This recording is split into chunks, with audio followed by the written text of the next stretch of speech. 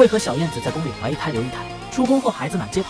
这背后究竟隐藏什么大阴谋？先数一下小燕子两次流产，一次是晒书活动，她在藏书楼里翻来翻去，即便下大雨了，永琪依旧让她赶紧帮忙。谁料她摔跤把自己的孩子摔没了。这样一看，好像是小燕子好动的性格所导致。但如今看，这就是一场宫斗大戏。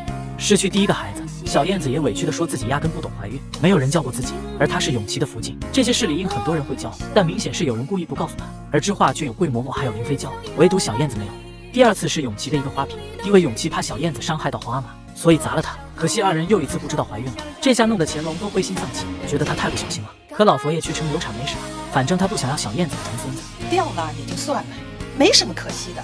小燕子的孩子，谁知道长大会是什么样？生下来是福是祸都很难预料。可见小燕子一直被他看不上。而出宫后，小燕子离开了散井，有了异父异母的帮助，她格外的注意小心，一下子就连生四个孩子，啪啪打脸那些说他不会生育的人。